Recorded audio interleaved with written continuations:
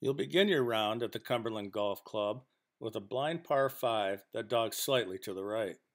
A steep hill, around 200 yards from the white tee box, cascades into a bowl, with a steep incline on the right and an embankment giving way to a small pond guarding the fairway on the left.